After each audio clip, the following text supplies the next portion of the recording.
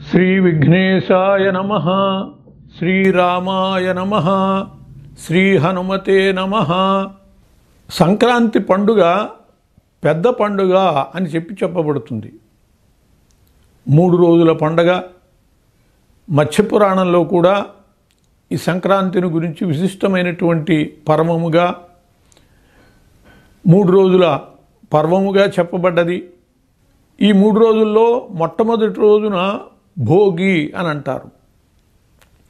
ఈ భోగి అని దీనికి పేరు రావటానికి కారణం అసలు భోగి అంటే భుజి ధాతువు నుంచి వచ్చింది భుజి భోగి అని. భోగము అనేటటువంటి అర్థంలో వచ్చినది ఇది గోదాదేవి శ్రీరంగనాథుని వివాహం చేసుకుని ఆమె ఆశించినటువంటి భోగములు పొందినటువంటి రోజు కాబట్టి భోగి. అని చెప్పి దీనికి పేరు వచ్చినట్లుగా చెప్పబడుతూ ఉంటుంది. విల్లిపుత్తూరులో విష్ణుచిత్తుడు అని చెప్పి ఒక విష్ణు భక్తుడు ఉండేవాడు. ఆయన పేరు విష్ణుచిత్తుడు. ఆయన బృందావనం ఏర్పాటు చేసుకుని తులసి వనం సిద్ధం చేసుకుని ప్రతిరోజు కూడా ఆ తులసిని సమర్పిస్తూ ఉంటాడు శ్రీరంగనాథునకు. ఆ రంగనాథుని యొక్క అనుగ్రహంతోనే శ్రీ మహావిష్ణువు యొక్క అనుగ్రహంతోనే ఆయనకి ఆ బృందావనంలోనే ఒక బాలిక లభించింది. ఆమె గోదాదేవి చూడుకుడుత్తనాచియార్ అని అంటారు. ఆమె తన తండ్రి అల్లినటువంటి మాలికలని తలలో పెట్టుకుని అలంకరించుకుని చూసి ముచ్చటపడి మళ్ళీ వాటిని అక్కడ ఉంచేది. అవే తీసుకెళ్ళి సమర్పించేవాడు. ఒక మాటు ఆమె ధరించటం చూశాడు. దాని యొక్క అపరాధాన్ని గురించి క్షమాపణ చెప్పుకున్నాడు రంగనాథునికి. ఆయన చెప్పాడు ఆముక్త మాల్యదయే నాకు చాలా ఇష్టము ఆమె ధరించి ఇచ్చినదే ఇష్టము అని చెప్పి చెప్పాడు. అటువంటి శ్రీరంగనాథుడినే పతిగా భావించింది గోదాదేవి. ఈ ధనుర్మాసం అంతా కూడా ఆ గోదాదేవి వ్రతం ఆచరించింది. ముప్పై పాసురాలతో ఆ భగవంతుని సేవను గూర్చి చెప్పటం జరిగింది. తిరుప్పావై అంటారు దాన్ని. అటువంటి పాసురములు చెప్పినటువంటి గోదాదేవి యొక్క కళ్యాణం ఈ రోజున శ్రీరంగనాథునితో జరిగింది కాబట్టి ఆమె ఆశించినటువంటి భోగము లభించిన ఈరోజు భోగిగా చెప్పబడుతుంది అని చెప్పి దీని వెనకాల ఉన్నటువంటి గాథ మనకి తెలుస్తుంది. ఈ రోజున ముఖ్యంగా కొన్ని కర్తవ్యాలు ఉన్నాయి. భోగినాడు తెల్లవారుజామునే భోగి మంటలు వేస్తారు. ప్రతి వ్యక్తికి కూడా సేకరణ అనేటటువంటిది ప్రతి వస్తువుని వదిలిపెట్టకుండగా దాచిపెట్టేటటువంటి లక్షణం ఉంటుంది. అవసరమైనవి అనవసరమైనవి కూడా అన్నీ ఇంట్లో ఉంటాయి. ఈ భోగి మంటల రూపంలో ఇంట్లో ఉన్నటువంటి ఆ చెక్కలు మొక్కలు అనవసరమైనటువంటివన్నీ కూడా మంటలలో వేసి ఇంటిని కూడా శుభ్రం చేసుకోవటము అట్లాగే భోగి మంటల ద్వారా ఈనాటి కర్తవ్యాన్ని నెరవేర్చటము జరుగుతుంది. ప్రతి ఇంట వేస్తూ ఉంటారు. కొన్ని కొన్ని చోట్ల అయ్యేటట్లయితే నాలుగు కూడళ్ళలో అందరూ కలిసి చాలా పెద్ద ఎత్తున ఈ కార్యక్రమాన్ని నిర్వహించటం ఉంటూ ఉంటుంది. తప్పెట్లు అవి కూడా ఏర్పాటు చేసి వైభవపేతంగా ఈ భోగి మంటల్ని ఏర్పాటు చేస్తారు. ఈ భోగి మంటలు వేశాక ఆ మంటల మీదనే కాగో పాత్రో పెట్టి నీళ్ళు కాచి ఆ నీళ్ళతో స్నానం చేసేటట్లయితే భూత ప్రేత పిశాచాది బాధల నుండి భయాల నుండి బయటపడతారు అని చెప్పి చెప్పబడ్డది. అట్లాగే ఈ భోగి మంటల అయిపోయాక ఆ విభూతిని ధరించటం వల్ల కూడా దుష్ట శక్తుల నుంచి రక్షణ ఏర్పడుతుంది అని చెప్పి చెప్పబడ్డది. అందువల్ల భోగి మంటలు వేయటంలో ప్రతి వాళ్ళు కూడా దాని యొక్క పరమార్థాన్ని తెలుసుకుని దాని ప్రయోజనాన్ని పొందాలి. అప్పుడే చిన్నపిల్లలకి అటువంటివి ఆ విభూతి పెట్టడము ఇటువంటివి చేయటం ద్వారా వాళ్ళ భయాలు పోగొట్టినటువంటి వాళ్ళం అవుతాం. ఈ భోగి మంటల వెనకాల కూడా ఒక పౌరాణికమైనటువంటి గాథ మనకు కనపడుతుంది. త్రేతాయుగంలో రామరావణ సంగ్రామం జరిగింది. శ్రీరాముని చేతిలో రావణుడు హతుడయ్యాడు. అటువంటి రావణుడు మండోదరి భర్త మండోదరి పరమ పతివ్రతా శిరోమణి. భర్త మరణాన్ని తెలుసుకుని ఆమె పరుగున వచ్చింది. వచ్చి భర్తని చూచి అనేక రకాల విలపించి శ్రీరాముని పాదాల మీద పడి తన మాంగళ్యాన్ని రక్షించమని చెప్పి ప్రాధేయపడ్డది. అప్పుడు ఇది మనకి వాల్మీకి రామాయణంలో కనపడదు. వాల్మీకి రామాయణంలో లేనటువంటి విషయాలు అవాల్మీకాంశాలు లోకంలో చాలా ఉన్నాయి. అటువంటి వాటిలో ఈ గాథ కూడా ఒకటి. అప్పుడు శ్రీరామచంద్రుడు ఆమె మాంగళ్యానికి భంగం లేని రీతిగా ఒక అవకాశం చెప్పాడని రావణుని యొక్క చితి కాలేంత వరకు రావణ కాష్టం కాలేంత వరకు ఆమె మాంగళ్యానికి భంగము లేదు అని చెప్పి శ్రీరాముడు అన్నాడని చెప్పి అందువల్ల ఆ రాముడిని యొక్క కాష్టం నిరంతరము తగలబడుతూ ఉందని చెప్పి చెబుతారు. ఇప్పటికి కూడా అది అట్లాగే ఉన్నదని దానికి ప్రతీకే భోగినాడు. సంక్రాంతి పండుగల్లో మొదటి రోజైనటువంటి భోగినాడు ఈ మంటలు వేయటం దానికి ప్రతీకగా చెబుతారు. అందువలనే ఆ శ్రీరాముని యొక్క మాటని పాటించినటువంటి వాళ్ళం అవుతాం భోగి మంటలు వేయటం ద్వారా. కాబట్టే ప్రతి ఒక్కరూ వాళ్ళ వాళ్ళ ఇళ్ళల్లో ఉన్నటువంటి అనవసరమైనటువంటి కొయ్యలను అట్టలను వేట్లనో తీసుకొచ్చి ఆ భోగి మంటల్లో వేసి వాటికి ప్రదక్షిణం చేసి అట్లా తాము కూడా దానిలో పాలు పంచుకున్నాము అని చెప్పి ఆ రాముని వాక్యాన్ని పాటించాము అని చెప్పి వాళ్ళు తృప్తి పడుతూ ఉంటారు.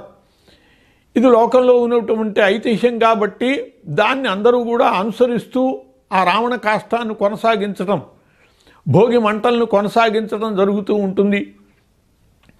ఈ భోగి మంటల విషయంలో నిరంతరము అది జరుగుతూ ఉండేది కాబట్టి ఏదైనా ఒక సమస్య సమాజంలో ఆగిపోకుండా రగులుతూ ఉండేటట్లయితే దాన్ని రావణ కాష్టంలాగా తగలబడుతోంది అని అంటూ ఉంటారు. అట్లా సామెతగా కూడా ఏర్పడ్డది ఈ రావణ కాష్టం అనేది. అదే ఈ భోగి మంటలకు సంబంధించినటువంటి విషయము అని చెప్పి చెబుతారు. అలాగే ఈ భోగినాడు అందరూ కూడా తలంట్లు పోసుకోవటము ఆ భోగి మంటల నీటితో కానీ విడిగా నీటితో కానీ స్నానాలు చేసి పవిత్రమైనటువంటి రీతిగా ఆ మొదటి రోజున ముఖ్యంగా ఆడవాళ్ళు గొబ్బెమ్మలు పెడతారు. రంగవల్లులు దిద్ది తీరుస్తారు. ప్రతి ఇంట కూడా వాకిట్లో చక్కగా ఆవు పేడతో కళ్ళాపి చల్లి రంగవల్లులని తీర్చటం జరుగుతుంది. అంటే ముగ్గులు వేయటం. ఆడవాళ్ళ యొక్క కళా నైపుణ్యం ఆ రంగవల్లుల్లో కనపడుతుంది. అనేక రకాల ముగ్గులు వేసి శోభాయమానంగా దిద్ది తీరుస్తారు. అట్లాగే దాని మీద గొబ్బెమ్మలు పెట్టడం కూడా జరుగుతుంది. ధనుర్మాసం ఆరంభమైనప్పటి నుంచి ఆ కార్యక్రమం జరుగుతూ ఉంటుంది. గోమయేన చ గాం కృత్వా తథా గోవర్ధనం శుభం. గోపాలం పూజయే నిత్యం శ్రద్ధయా కురునందన అని చెప్పి ఈ గొబ్బెమ్మలు పెట్టేటటువంటి దాని వెనకాల కూడా ఒక గాథ ఉంది పాపరయుగంలో గోపగోపి జనమంతా కూడా ఇంద్రుని పూజ చేసేటటువంటి అలవాటు వాళ్ళకి.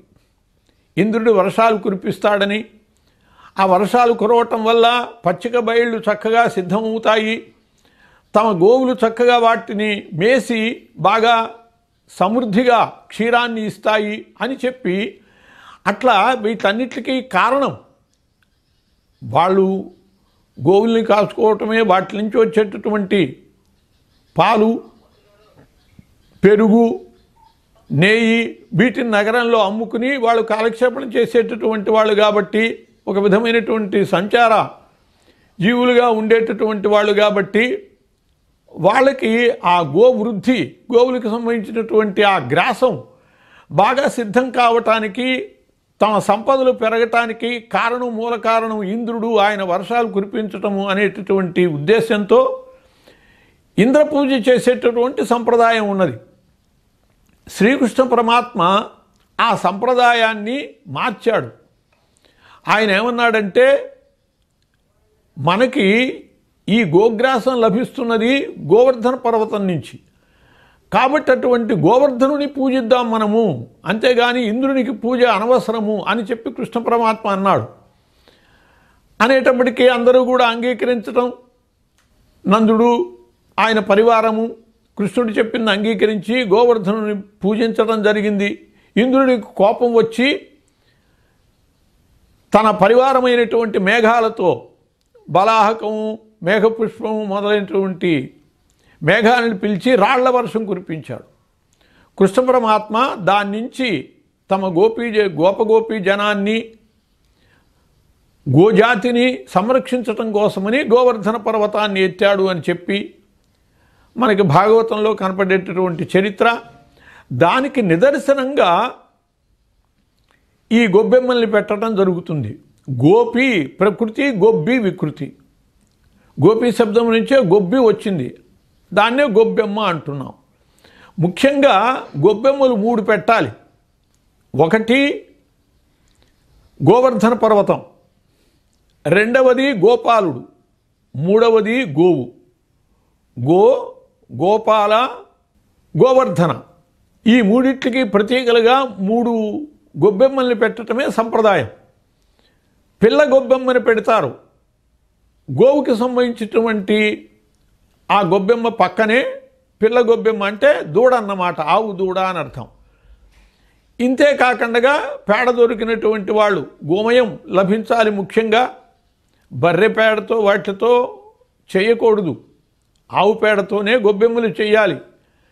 ఎంత దొరికితే అంతతో ఒక గొబ్బెమ్మే అయితే ఒక గొబ్బెమ్మే పెట్టాలి తప్పితే బర్రెపేడను తీసుకొచ్చి ఇంటి నిండా గొబ్బెమ్మలు పెట్టడం వల్ల ప్రయోజనం ఏమీ లేదు. ఆ పవిత్రతని సంప్రదాయాన్ని కాపాడవలసినటువంటి అవసరం కూడా ఉన్నది. అది లభించినప్పుడు ఇంకా పరివారం కూడా గోపరివారము గోప పరివారము అట్లా ఎక్కువ గొబ్బెమ్మలు పెట్టేటటువంటి పద్ధతి ఉంటుంది. ప్రధానంగా మాత్రం మూడు గోవర్ధనుడు గోవు గోవిందుడు. ఈ ముగ్గురికి మూడు గొబ్బెమ్మలు పెట్టాలి. ఆవు పక్కన పిల్ల గొబ్బెమ్మ పెట్టటము. ఇది అనాదిగా వచ్చేటటువంటి సంప్రదాయం గొబ్బెమ్మలు పెట్టడం అనేటటువంటిది ఇది మన సంస్కృతిలో ఒక భాగం. ముఖ్యంగా ఆడపిల్లల చేత ఇలా గొబ్బెమ్మలు పెట్టిస్తారు. పెద్దవాళ్ళు రంగవల్లులు దిద్ది తీరుస్తారు ముగ్గులు పెడతారు. ఆ ముగ్గుల్లో ఈ గొబ్బెమ్మలు పెట్టిస్తారు. ఆ రోజులు పంటలు వచ్చి సుభిక్షంగా ఉండేటటువంటి రోజులు దాన ధర్మాలు బాగా జరిగేటటువంటి రోజులు కాబట్టి హరిదాసులు వస్తారు. హరిలో రంగహరి అంటూ శ్రీమద్ రమారణ గోవింద హరి అనుకుంటూ చిరతలు వాయించుకుంటూ హరిదాసులు వస్తారు. వాళ్ళకి దోసెళ్ళతో ధాన్యాలు సమర్పించి ఆ గోపాలుని యొక్క గోవిందుని యొక్క అనుగ్రహానికి పాత్రలు కావటం కోసమని ప్రయత్నం చేస్తారు. భోగిపళ్ళు అంటే రేగిపళ్ళు బంతిపూలు రేఖలు బంతిపూ రేఖలు రేకులు. బంతిపూలకు సంబంధించినటువంటి రేకులు కలుపుతారు. అట్లాగే చిల్లర డబ్బులు అక్షతలు వీటిని కలిపి ఓ పళ్ళెంలో ఉంచుతారు. చిన్నపిల్లల్ని వాళ్ళకి దృష్టి దోషాలు పోవటం కోసమని ఈ సంవత్సరం అంతా ఏ రకమైనటువంటి చీడపీడలు వాళ్ళకి ఉన్నా కూడా అవన్నీ తొలగిపోవటం కోసమని ఒక విధమైనటువంటి శాంతి కలాపంగా వాళ్ళని కూర్చోబెట్టి పేరంటాళ్ళని పిలుస్తారు. ఇంటింటా కూడా ఈ పేరంటాలు జరుగుతాయి. చిన్నపిల్లలు ఉన్నటువంటి చోట భోగిపళ్ళు పోయటం. అట్లా దృష్టి దోషాలు పోగొట్టడం కోసమని భోగిపళ్ళు పోయటము హారతులు ఇవ్వటము వచ్చినటువంటి పేరంటాళ్ళందరికీ కూడా వాళ్ళకి పసుపు రాసి బొట్టు పెట్టి తాంబూలం ఇచ్చి ఏదో కొంత వాళ్ళకి శనగలో ఏవో వాళ్ళకి సమర్పించి పేరంటం దిగ్విజయంగా జరుపుతూ ఉంటారు ఆడవాళ్ళు. స్త్రీలకు సంబంధించినటువంటి వేడుకలు ఈ పేరంటాలు.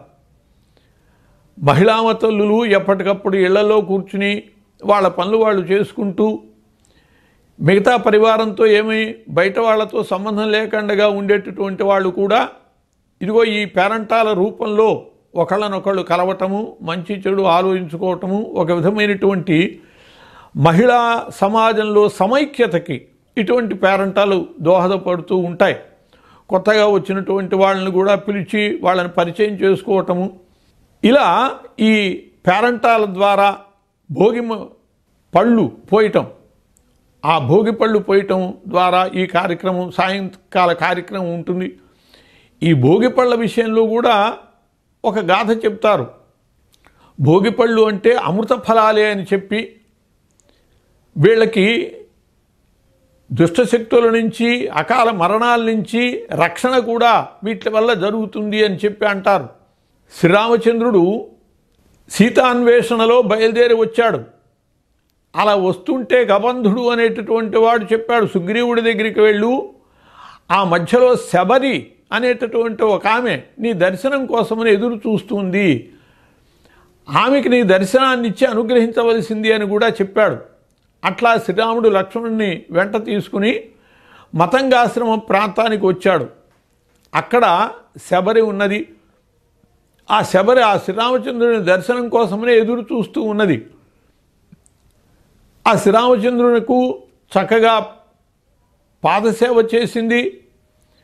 కూర్చోబెట్టి తాను బాగున్నాయో లేదో పక్వానికి వచ్చాయో లేదో అని రుచి చూసి సేకరించినటువంటి పళ్ళని రామునికి సమర్పించింది అని చెప్పి మనకి చెబుతూ ఉంటారు. ఇది కూడా వాల్మీకి రామాయణం విషయం కాదు అమా అవాల్మీకమైనటువంటి అంశమే. శబరి చరిత్ర వాల్మీకి రామాయణంలో ఉన్నది కానీ ఎంగిలి పళ్ళు పెట్టటము అనేటటువంటిది వాల్మీకి రామాయణంలో లేదు. కానీ అనేక రామాయణాలు శతకోటి ప్రవిస్తర రామాయణాలు అన్నారు. అటువంటి రామాయణాల్లో ఈ గాథ కనపడుతుంది. ముఖ్యంగా వ్యవహారంలో ఉండేటటువంటి గ్రామీణ గాథలలో ఈ చరిత్ర కనపడుతుంది. ఆ శ్రీరాముడు తాను తింటూ ఆ శబరి రుచి చూసి ఇచ్చినటువంటి పళ్ళని లక్ష్మణునికి కూడా ఇచ్చాడని తాను ఏది స్వీకరించినా లక్ష్మణునికి కూడా అది ఇస్తాడు. రాముడు లక్ష్మణుని అంత తనతో సమానంగా చూస్తాడు. అంటాడు కూడా స్వయంగా లక్ష్మణ నేను ఏ సుఖభోగాలు అనుభవిస్తానో అవన్నీ కూడా నువ్వు అనుభవించాలి అని చెప్పి. అట్లా ఆ లక్ష్మణునకు ఆ పళ్ళు ఇచ్చాడని ఎంగిలి అనేటటువంటి భావనతో లక్ష్మణుడు తినకండగా పారవేశాడని దాని ఫలితంగానే లక్ష్మణుడు మూర్ఛిల్లవలసిన పరిస్థితి అప్పుడు హనుమంతుడు వెళ్ళి అమృత సిద్ధి కోసమని ఆయన తెచ్చిన వాటిల్లో రేగుపళ్ళు కూడా ఉన్నాయని అవే అమృత ఫలాలు అని. అందువల్ల ఈరోజు భోగిపళ్ళ రూపంలో వాటిల్ని పోయటం ఆ చిరంజీవులకు అకాల మరణాన్ని తొలగించి చిరంజీవిత్వాన్ని ప్రసాదిస్తుంది అని చెప్పి కూడా చెబుతారు. ఇట్లా ఈ భోగి పర్వదినం నాడు అనేక రకాల కార్యక్రమాల ద్వారా వైభవోపేతమైనటువంటి రీతిగా ఈ సంక్రాంతి యొక్క మొదటి రోజుని గడపటం జరుగుతుంది. ముఖ్యంగా సంక్రాంతి నాడు సమృద్ధిగా పంటలు ఇంటికి వచ్చి ఉంటాయి. అందువల్ల వీళ్ళు వేడుకలు జరుపుకోవటానికి కానీ పెట్టుపోతలకు కానీ దాన ధర్మాలకు కానీ అన్నిటికీ కూడా వెనకాడని రీతిగా ఉంటుంది కాబట్టి ఈ భోగినాటి సంబరాల్లో అందరూ కూడా చక్కగా పాల్గొని మూడు రోజుల పెద్ద పండగైనటువంటి సంక్రాంతి పండగలో మొదటి రోజుని దిగ్విజయంగా జరుపుకోవాలి. అట్టా జరుపుకోవటం ద్వారా భగవంతుని అనుగ్రహాన్ని పొంది ఆ గోదామాత శ్రీకృష్ణ పరమాత్మ యొక్క అనుగ్రహాన్ని పొంది ఆ శ్రీరామచంద్రుని యొక్క అనుగ్రహాన్ని పొంది సుఖశాంతులతో వర్ధిల్లాలి అని చెప్పి ఆశిద్దాం. స్వస్తి.